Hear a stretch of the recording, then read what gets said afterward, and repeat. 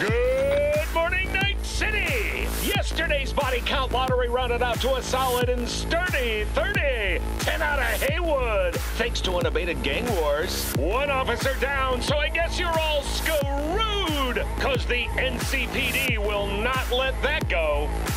Got another blackout in Santo Domingo. Net runners are at it again, poking holes in the power grid.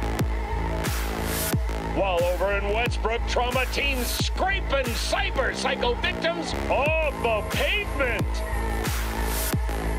And in Pacifica, well, Pacifica is still Pacifica.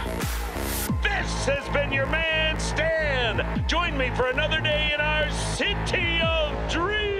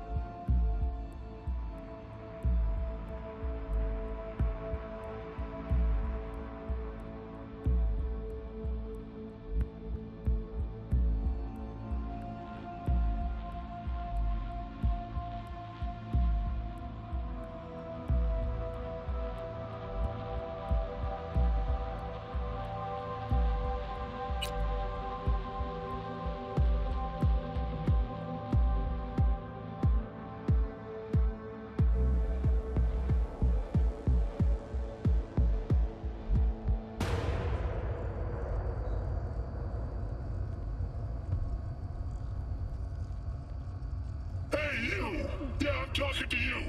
You connect to the net, right? Well, I wouldn't if I were in your shoes.